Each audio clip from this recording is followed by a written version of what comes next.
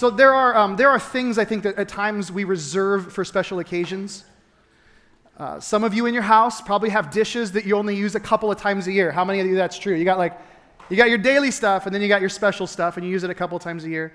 Some of you, maybe you've got like a beverage, like you've got a bottle of wine or champagne that you've been holding on to for that special occasion, right? Um, some of us have clothes in our closets that only come out for special occasions, right? For me, that thing's called a suit. and I don't wear it to church on Sunday, right? It's a special occasion that gets me in a suit, right? I feel this way about this study that we're beginning today. Um, the book of Acts, for me, is sort of uh, a special occasion sort of study in the book of the Bible. In the Bible. Um, I might even say this. Uh, I, have been sort of saving this uh, for, for a while, saving it for a time like this in the life of our church. Uh, I don't know if you've noticed this, but Summit, we've grown just a little bit in the last couple of years. Uh, those of you that have been around here for a while, you know that we, um, we are a little bit bigger than we used to be. And it's just sort of dawned on me recently that God's been sort of gathering people to this thing called Summit Church. And like week after week, we see more and more people show up. And, uh, and week after week, I just find myself being convinced that God's gathering us together for a reason that's bigger than just getting bigger. Amen? That it's not just about us getting together and looking around and saying, wow, what a great crowd, and isn't this fun that we're part of something that's big and growing, but truly that God's gathering us to this place and gathering us as a community because He has something for us that is bigger than just being bigger, something that is beautiful and good. And I'm sensing that there's sort of a new season in the life of our church. And one, a season that I think particularly aligns with what we're going to be looking at in the book of Acts. I believe the book of Acts is particularly relevant for where I see us moving in the days ahead. The book of Acts, for those of you that don't know, it's this New Testament book that is powerful, it is monumental. It is about a group of people who lived the gospel out in such a powerful and dynamic way together that exploded from beyond their city to the region around them and from the region around them to the world. And truly, we trace our DNA, our origins, our history to the group of people that we're going to be looking at in the course of this series. It was an incredibly special time. And I genuinely believe that this is a very special time in the life of our church. Um, so for me, I guess um, this is the way I've been thinking about this the past couple of months is we're breaking out the fine china and uh, we're going to look at this beautiful thing called the book of Acts. Now, Something I want you to understand as we dive into this, and I think it's really important to get this, to wrap your mind around this, to really grasp the meaning of what I'm about to say. It's important for us to understand that as the Gospels came to an end, Matthew, Mark, Luke, and John, the biographies of Jesus, as those books came to an end, those books ended leaving us with a question. They close with a question mark. Um, the, the, Gospels leave us with a place of sort of wondering what's next. And really, the question was, now what? Now what? Now that this has all happened, now what? Um, we read about the life of Jesus in his biographies. We listen to the teachings of Jesus. We see this beautiful new way of living towards others and living with God. We come face to face with his death. We come face to face with his resurrection. And then, in the conclusion of all that we see in the Gospels, we come to this place where we have to make a decision. Like the Gospels really just ask us to answer a question that is, what do you say about Jesus? And when you see the Gospels and you come to that conclusion and you make a conclusion about Jesus, when you see that he is God revealed to humanity, when you see that he resolves the questions and wondering that we have about who God is and what his heart towards humanity is, when you come to the realization that Jesus is opening up this new way of living life with God, it leaves you in this place of saying, now what? On a practical level, we're left with this sort of question like, okay, well, so now what do we do? Okay, I get that Jesus is who he is, and I'm really inspired by it. It's beautiful and it's wonderful. But now what? And I think that's a question that a lot of people ask. I think in our culture today, it, one of the struggles we have is that we give intellectual assent to this thing called faith in Jesus, and yet we don't really see it take traction in our lives. And we say, well, now what? What am I supposed to do now that I've drawn conclusions about who Jesus is? I think most of us in the room, the reason we gather here, the reason maybe you've been drawn to Summit, is we know we don't have time for empty religious practices. That is not what we're about. And yet at the same time, there is this beautiful life in God. There is this beautiful picture that's being painted by Jesus that we're compelled to. So we're saying, well, how do we do this? How do we live this out? Where do we go from here? What's next for me as an individual and for us as a group of people? What do we do to live out this life? So I say that to, to, to set this up. the book of Acts answers that question. It, it closes the gap between the question that is left after the resurrection of Jesus and how you and I live our lives on a daily basis. The, the book of Acts is this beautiful and wonderful account of the first church, its birth and its, its struggles and its expansion. And it's a, it's a letter, it's a book that doesn't just inspire us, but it instructs us. It shows us something beautiful and wonderful, and then it calls us into that beauty and calls us into that wonder to live this out. I think that's a really important point that needs to be made as we dive into this. Not only does it resolve the question we have about what's next, but it also invites us to participate into something. So we're going to study the book of Acts. But I truly believe it would be tragic if the fullness of Christian experience is that people that follow Jesus gather themselves in a room together, read stories of what God did in years gone by, and then reminisce together and call it all good. Right? I mean, I think we probably could agree. Would you agree with me? It would be fairly lame if Christianity was about you and I seeing, like, man, God did some amazing stuff back then. That's really cool. And we left it at that, right? Like, we just looked at the theory and never got into the practice. So I want to make it very clear that the reason for this is that we would begin to understand not just what God has done, but what God is doing. Let me explain it this way. Um, this last Christmas, a couple of different friends, I don't know what, they, didn't, they don't even know each other. Um, they bought me magazine subscriptions for Christmas, which that's like buying somebody a buffalo. That's like a rare thing these days, right? Like, do magazines still exist? Yes, they do. I love magazines, which is, they didn't know that, um, but I love magazines. I still love like flipping through and reading. So they bought me some magazines and I got them. And, and, uh, and it's kind of fun because every month I get a couple magazines in the mail. If you don't know this, um, because maybe you, you've grown up in a world that, without magazines, um, Magazines are about specific topics, specific things, maybe hobbies, maybe practices, and then um, those, those magazines extrapolate different ways to do those topics. They talk about them, they even inspire people to participate in them. Uh, this last week, I was thinking about Acts, the book of Acts, and I happened to be reading one of my new magazines that I got. And as I was flipping through, I realized this. My friends chose these magazines for me because they knew these are activities that I'm interested in, these are things that I like to engage in. And I just imagine what if I was a person who all I ever did was sit and read the magazine, but I never did the things that were in them? There'd be something flat about that, right? I would be missing the point of the authors. The individuals who have crafted these publications, delivered them into my mailbox, have intended that not only would I read about the adventures of others, but that I myself would engage and live the adventure as well, that I would experience those things as well, that I would be participating and learning. The same is true of the Bible. If you and I simply look at it and we admire it and stand off at a distance, we're missing out on the intention of its author. Are you with me? So we go into the book of Acts with this understanding, with this idea that we are learning, but while we're learning, we are also discovering how to live life in an entirely new way. The heart behind this series, our greatest desire, my desire, is that we would make a deep connection with what we see in the book of Acts and with the way that we're living our lives every single day. That this would be translated into our language, translated into our time, that we would participate in the very things of God that we see the earliest Christians participating in. These are our origins, and our origins speak to who we are to be today.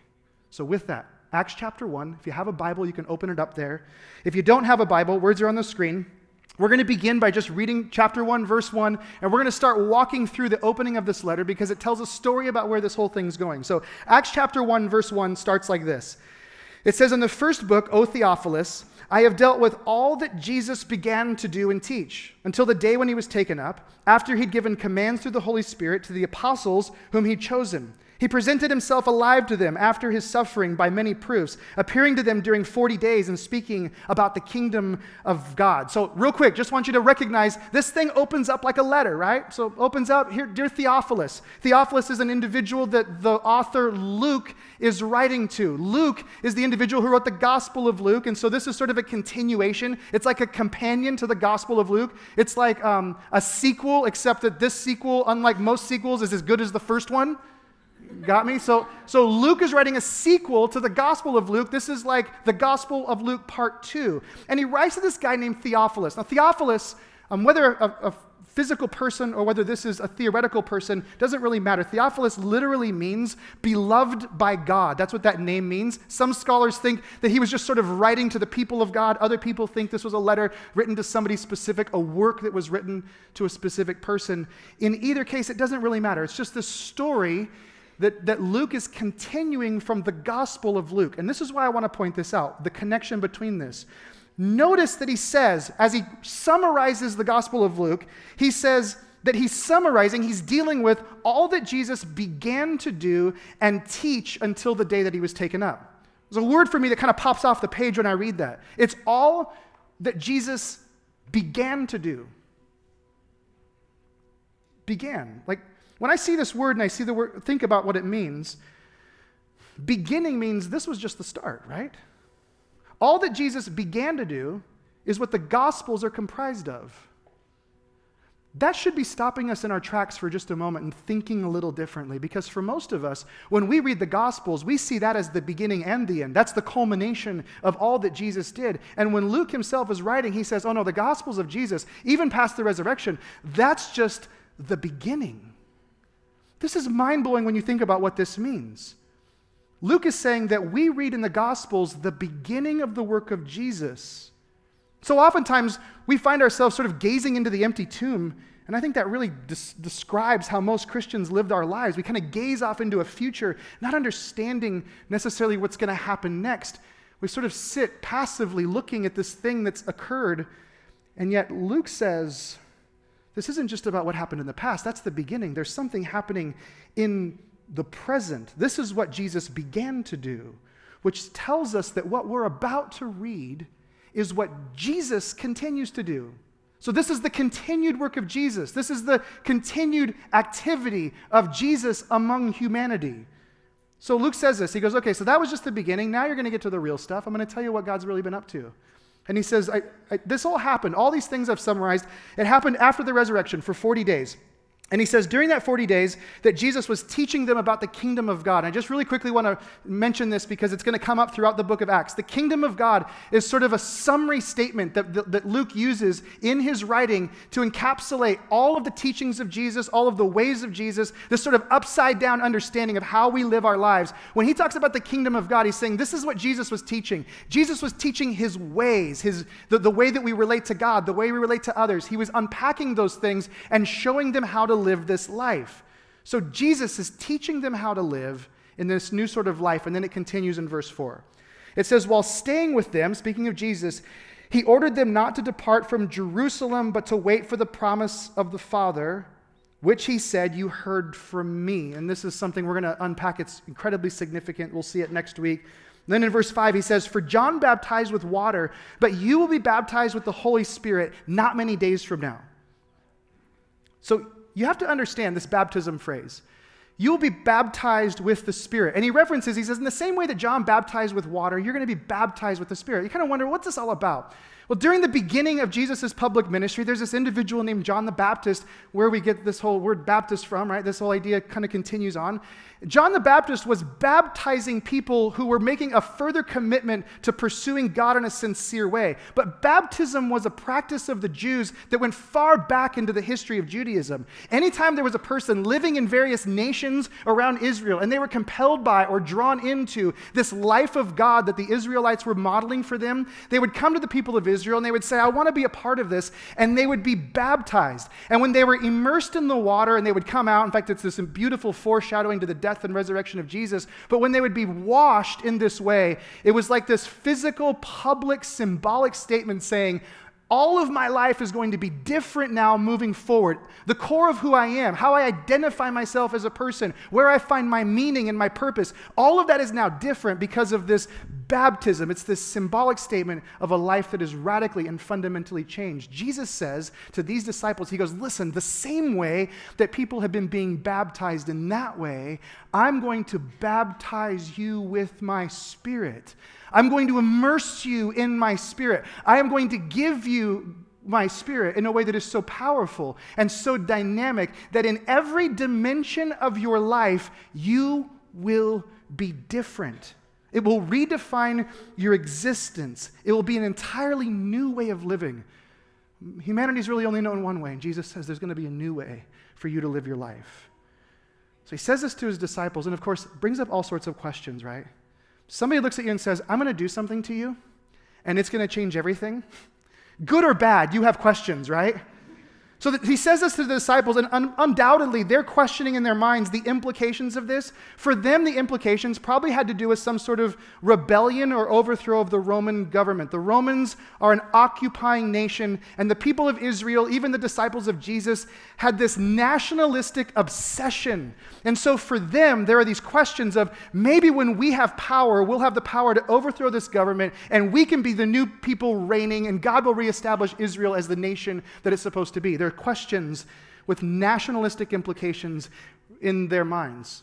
And so they asked in verse 6, when they hear this, so they asked Jesus, by the way, it says, so when they had come together, they asked him, I want you to recognize that this is after the resurrection. And there's something about the casual nature of how Luke mentions this. I know that uh, lots of people hypothesize about the re- resurrection of Jesus, they theorize about it. There, there's something about the casual nature of this, as if Jesus is like at the barbecue, like he came over. And while they're standing around, it's like, hey, Jesus, by the way, um, you said something yesterday. I mean, do you realize there's a very casual nature to this interaction with Jesus that, that, sort of indicates the reality of his presence with them in this moment? And so, those of you that maybe struggle with Christianity, I think these are sometimes encouraging things to realize people don't fabricate casualness in this sort of way around things that are this significant. So, anyways, they're hanging around the barbecue grill and they look at him and they say, Lord, will you at this time restore the kingdom of Israel? Totally nationalistic, right? Like, Jesus, you've resurrected, now you're giving us power. Please tell me we're going to set up a nation like the nation that we want. And he said to them, It's not for you to know the times or seasons that the Father has fixed by his own authority. In other words, he says, Listen, that kind of stuff's not yours to worry about. In fact, this is what he's really saying. That kind of thing is not the kind of thing that I want my people thinking about. Nationalism is not the business of people who follow me. Are you clear on this? Nationalistic interests are not the things that my people are passionate about. Jesus switches the subject. They've got questions about the nation, and Jesus says, No, no, no, listen. He continues. And by the way, what he's about to say defines the entire book of Acts. Chapter 1 to chapter 28 is defined by verse 8 of Acts chapter 1. He says this Don't worry about that other stuff, but you, you will receive power when the Holy Spirit has come upon you and you will be my witnesses in Jerusalem and in all Judea and Samaria and to the end of the earth. This is the promise of Jesus. This changes everything. This promise that Jesus makes to these individuals completely redefines the trajectory of human history.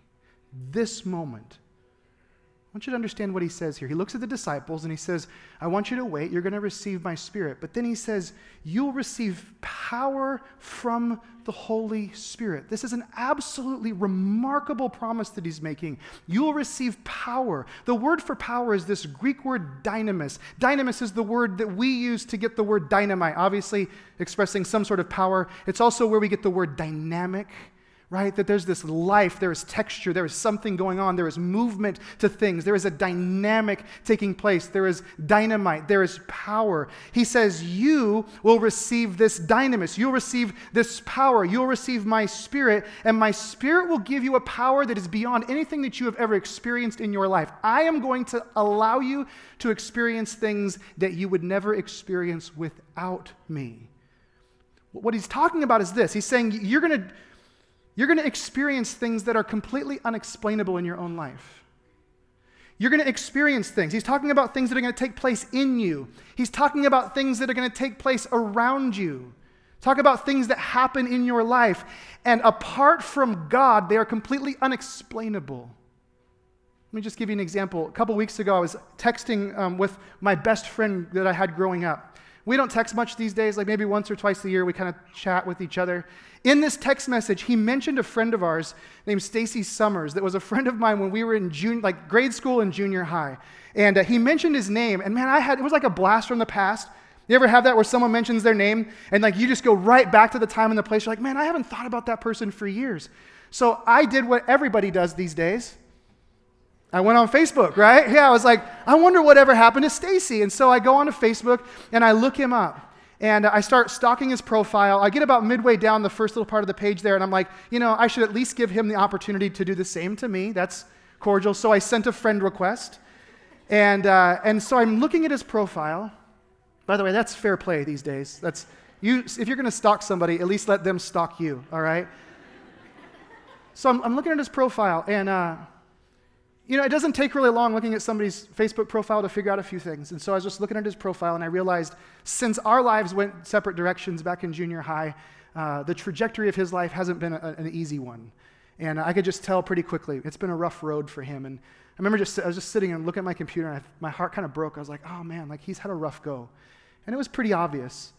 And uh, I didn't think much about it. And then um, I got an email saying I had a message, and it was a message from my friend Stacy. And so uh, I opened it up, and he um, had looked at my profile page and stalked me. And he's like, hey, man, you know, the whole thing. And then it got to this one part where he's like, you're a pastor? and like, I could just hear it, you know? He's like, do I need to go there and tell people the things you did in middle school? Like, is that something like, do people know who you really are? Like, do they understand? Like, you know, you could just hear the incredulous nature of his comment. It was like this realization. And as I as I listened, as I saw that and thought about, it, I thought, man, you know, that's just the response that most people have in my life today. Most people that knew me when I was young, most people knew me when I was in school, most people find out that I do what I do, stand in front of thousands of people and speak. Their their minds are blown. Like, how in the world does this guy do this? Not only is he smart, like he wasn't smart enough to put a sentence together, and he was incredibly fearful of getting in front of people people. Like, how in the world am I doing what I'm doing? And I'll just tell you this it's impossible without a power. I would not do this if it wasn't for the power of God inside of me. I'm just telling you this. Every week I get up here, every week I go down, and, and every week I just think, God, it is your power within me that makes this even possible. This is not what I predicted. Some of you, sometimes you say things to me like this it's like you read my mail. Some of you feel this way. You're like, man, were you talking to me? I'm like, I swear, these lights are just bright enough. I can't make great eye contact. So, no, I'm not just talking to you.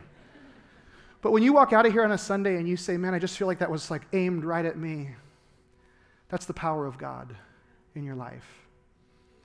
There, there have been times, even in recent years, very recent years, when I have gathered with others and I've laid hands on and prayed for people who were in helpless and hopeless situations physically, spiritual. And we have seen those situations turned around in ways that I cannot explain apart from the power of God. There are stories of people.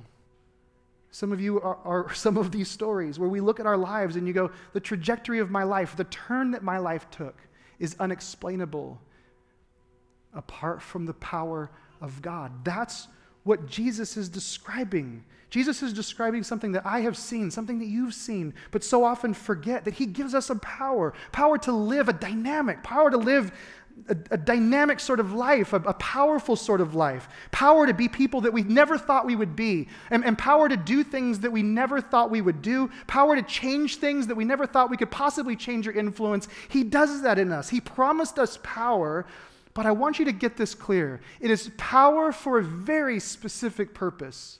And I, I, say this because I think there's some frustration. I think even now, some of you are saying, well, man, yes, I get it. Like Jesus is given power, but you have this frustration with Jesus because he didn't give you the power that you wanted at the time you wanted for the thing that you wanted. But Jesus gives us this power, and he makes it very clear in this statement, Acts 1 8, that the power that he gives us is for a reason. I just want you to listen to this. This is specific. This is what that power applies to. He says, You'll receive power when the Holy Spirit has come upon you, and you will be my what? Witnesses in Jerusalem and Judea and Samaria and the uttermost parts of the earth. The purpose of the power, the focus of this power, is that you and I would be witnesses. Witnesses. A few years ago, there's this basketball player that sort of rose out of the mundane NBA guy named LeBron James. And suddenly we were watching a player like we hadn't seen in a long time. Like, I don't know about you, but those of you that are basketball fans, it was like we were longing for another Michael Jordan, and we got one, right? LeBron James. We're watching a guy play basketball these days who seems to play the game in a way that people have never played it before. There's a command that he has over the game, there's a presence that he has in the game. There's an ability that he has to take over, unless it's against Steph Curry and during game one. But he has this ability, right? so his sponsors, one of his major sponsors, Nike, a couple of years ago, recognized that while we are watching LeBron James play the game, we are watching something special. And they came up with this advertising campaign to talk about it. And there was one word associated with the campaign, and it's the word witness. And they said, We are all witnesses. Suddenly it was on t shirts and it was on TV screens and magazines, if people get them. Witness, this word witness witness. And it's this idea that while we sit on the sidelines, we are witnessing greatness. We are seeing the game played in a way that the game has never been played. We are seeing a power and a control, something that is dynamic, and we're seeing this and we're telling the stories. When you gather around the water cooler with friends at a barbecue, we're talking about plays that he played, specific things, and they stand out in our minds because they're that amazing. That is what it means to be a witness. It means to see something that is great. When Jesus looks at his disciples and he says, You are going to have power and you are going to be my witnesses, it is because we are going to stand and see things that are great. We're going to see a command. We're going to see a power. We are going to see things that are unexplainable outside of this greatness of what He has given us. That is what Jesus is describing. We are witnesses. But I want you to catch this. It is not simply witnesses of the past. It isn't like He's looking at these guys and saying, hey, tell them all the things I began to do. Remember this? Go back to that. Luke was talking about all the things Jesus began to do, and that ended with the resurrection. Now he's looking forward and he's saying, You will be continually ongoing my witnesses. So it isn't just the past. He's not just saying we're going to rekindle some old flames of things that took place in history. He's talking about things that they would be witnessing every day. You will be my witnesses. It is the ongoing work of Jesus in and through his church. They will witness the ongoing greatness of God. They are going to be people and they are going to do things and they are going to change things that they never would have imagined and are impossible apart from the power of God. You, and he's saying this as much to us as he is them, you will witness greatness and you will tell stories of God's greatness few, few years ago when um, Summit was about a tenth of the size that it is today. Some of you remember this. Um, we had an office in a house over on Glen Rose. Some of you, how many of you remember those days? Yeah, a few of you. Awesome. And uh, some of you used to drive by and you're like, man, how does a church meet in that house? And uh, it was just our offices, just for those of you that want to know, just don't be confused. Um, but when I first came to Summit, I remember, remember sitting in the office, and there were, um, there were days when I just sort of wondered, like, what's it look like to lead a church in, in our community? Like, how do we do this? What's it look like to lead us well? And, and there was this question that kept kind of arising like, what does it look like for us to be effective, to really do what God's called us to do as a church? What does it look like for Summit to be all that God intended it to be? And I remember just sitting there, and I've shared this with groups outside of here. Um, I don't know that I've ever shared this on a Sunday here, but I remember sitting there, and I recognized this. I, I remember thinking to myself, there has to be more to, to define our success, a win as a church, than nickels and noses. That our success as a church cannot be about butts and seats. Does that make sense? And this is what I remember thinking. I remember thinking to myself, if it's about nickels and noses or butts and seats, the NFL does the work of Jesus way better than the church of Jesus, right? Because they got way more money and they got way more people sitting in seats on a Sunday morning. And so I just realized if that's the measurement for what it means to be the church of Jesus, then somehow we've missed the point, right? And so I found myself just asking, so what does it look like? How will we know as a church that we're doing what the church is supposed to do? And I remember just sitting there saying, God, whatever the answer to that question is, it must be something that is true, whether one more person ever comes to this church or not, or whether or not one more dollar ever gets put in the offering or not. It has to be true without money and without growth. That's what defines your kingdom. So I remember just sitting there, kind of wrestling with that, questioning, and then suddenly was just like this still voice of God saying, stories of people's lives being changed stories of people's lives being impacted by the gospel of Jesus. That is what will define whether or not we are doing what the church is supposed to be doing. And so, from those early days on, we have made that the central measurement for everything we do. When we gather on a Sunday, when men gather in groups, when women gather on a Wednesday, when youth gather, when kids gather, when we go to camps, the question we're always asking is like, tell me a story of lives being changed. Every week when I gather with our staff, the first thing that we talk about is stories of people's lives being changed. And guess what? Every single week, there's somebody with a story of another person who the trajectory of their life is radically different because the gospel of Jesus has impacted them through Summit Church. And every time I just find myself saying, that is what this is all about. We'll have power and we'll be witnesses. We'll tell stories of people who've been healed and their stories have changed and their lives are together. We'll have neighbors that we've invited to church and they never came and suddenly they're just like loving their kids and getting involved. We'll see people that we had given up hope on suddenly having hope. That's what we see. We will witness the power of God. Jesus says in, in Acts 1 8, and he says, I don't just want this here, I want this everywhere Jerusalem, Judea, Samaria the uttermost parts of the earth. When Jesus says that, there is not just a space component, but there's also a time component. This is the ongoing work of Jesus, that all people everywhere would experience this. So just catch the scene. The disciples said, Jesus, are you going to set up your new nation? And then he just drops Acts 1 8 on them. I've got a feeling at that point they were like, yeah, let's don't you guys don't bring up the political stuff again, right? It's interesting that right after this is when Jesus departs from them. Verse 9 says, When he said these things, as they were looking on, he was lifted up, and a cloud took him out of their sight.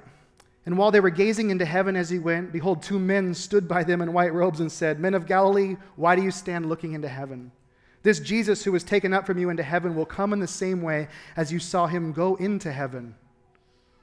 So, what did they do? Jesus ascends. They're watching the ascension. He's just said, This is what your life is all about. I want you to catch what they did. Verse 12.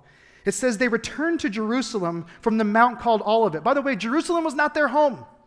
Jerusalem was where Jesus told them to hang out, and we'll see why next week. They go to Jerusalem, a Sabbath day journey away, and when they had entered, they went up to the upper room where they were staying and then Peter and John and James and Andrew, Philip and Thomas, Bartholomew and Matthew, James the son of Alphaeus, and Simon the Zealot, Judas the son of James.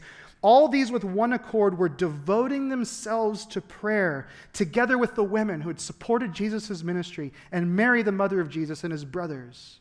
They gather in this place and they're praying together. They go to Jerusalem because he said to. And there is this sense in Acts chapter 1 that there is an expectancy. That when Jesus promises that his spirit is going to be poured out on human beings and that they will have power, there is an expectancy on their part that Jesus will follow through with that and that their lives will be characterized by that. And so they've gathered in this place and they've recognized the resurrection was just the beginning. This thing's about to get going. In fact, in the next few verses, they appoint Matthias to replace Judas Iscariot. I truly believe the reason they do that is simply because they were like, man, we got work to do. We better get the team back together, right? We better get things in order because Jesus is about to do something. And all of this just speaks to this blaring, obvious point that on Easter Sunday, the story didn't end with Jesus' resurrection and a quick announcement that people get to go to heaven when they die. Like this, the Gospels are not about you and I having some sort of deathbed confessional that we can give so that we can guarantee our heavenly salvation. There is a kingdom being established, there's a new way of life that is being lived, there is a third way to live. A new reality that is grounded in the death and the life of Jesus Christ and the power of His Spirit that He's given us a new reality that draws us in. And the story that begins here continues. When you look at the book of Acts, this is beautiful. When you look at this, these fumbling disciples, they become these empowered apostles. They're filled with the Spirit of God. They, they're called beyond their borders, and they make this radical difference. In fact, we read that the number of believers from this point forward, and we'll see this in the weeks to come, it goes from these 11 to around 30, 120, and then over 3,000 people just overnight. Just overnight. It's just the thing's exploding. And by the way, it's exploding with people who swung hammers for a living and people that ran shops and businesses, and people that taught out of books, and people that studied books. It exploded among people who, who had kids to manage, and relatives to deal with, and, and bills to pay. Like, it exploded among regular people living regular lives. And we follow their journeys and we, we see where they go, and it is beautiful. And you realize the story has not ended. All of us, we trace our DNA in this room to this moment. Acts chapter 1, verse 8. We are here because of that moment. We are connected. This is our origin. And it doesn't just define who they were, but it defines who we are. This is our story. This is our family tree. Can we share in the expectancy? Can we share in the expectancy? Can we live in the beauty? Can we lean into the life of God and ask for more than just our humdrum daily lives? Can we get past the beginning of what Jesus did and start living what he's continuing to do?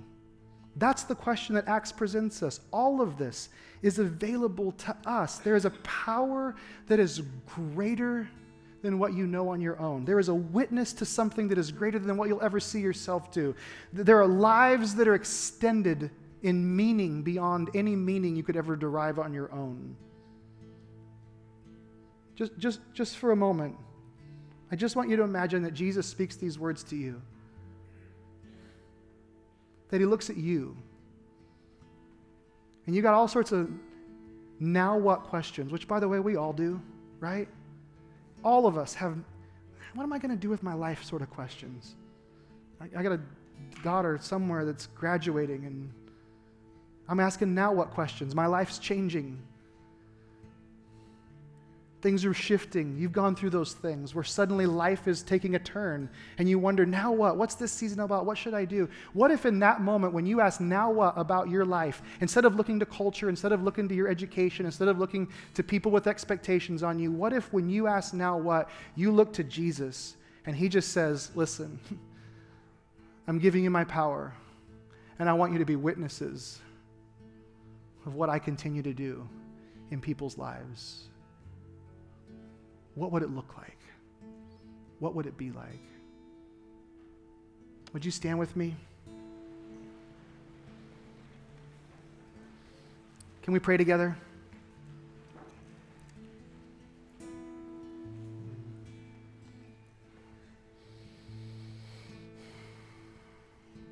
Jesus, give us courage.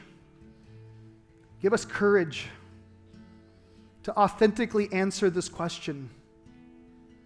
Lord, give us a desire, even a burning in our hearts, to live for more and to want more. I pray that you would reveal to us that the unsettledness of our souls, the disenfranchisement that we have with our government and our, our culture and people around us, the, the feelings that we have, all of those things are really just symptoms of our lives not being lived in, in your power and in your purposes.